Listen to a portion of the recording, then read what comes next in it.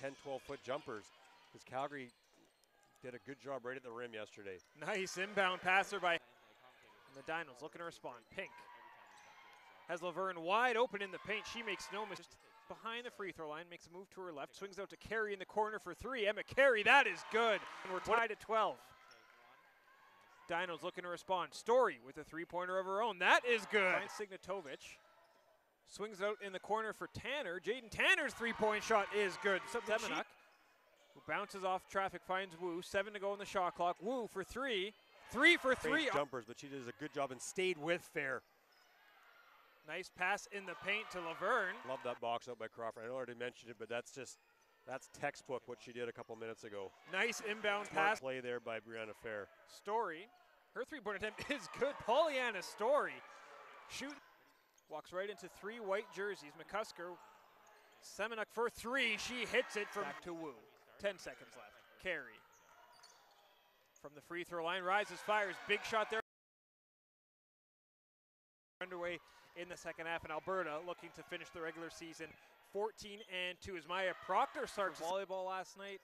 Lots going on, but we're grateful you're spending a few minutes with us this afternoon. As Emma Carey, what a move. Proctor and Crawford play give and go.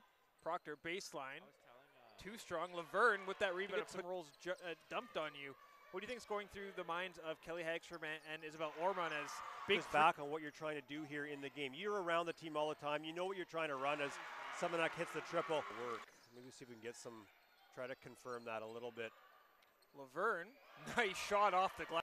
In 24 minutes, she has barely sat down here today. Carey spins, fires, tough Ooh. shot. Looking at inbound and stolen right off the, the inbound by Colin. Good defense there, and Palmer goes end to end, lays it in. Ex- Swings it out. Christy Fair for three. That one falls. Christy Benefit for the Pandas. That puts a few more seconds on the shot clock. Yeah, just a bit of a hold there. Nice pass there. We see that now. with Three, six to go on the shot clock. Cook spins. Nice play there by Mackenzie Cook. She's on a winning note. They still have some work to do as Harris ties that game. Pollyanna Story, one on one against Signatovic. Story puts it up. Nice shot there by Story, and she takes a tumble. And then reset once you're cross half. Crawford fakes a three, takes it right into traffic. Nice. Riley Semenek back to Signatovic. Six to go in the shot clock. Harris wide open, left alone. Morgan Harris.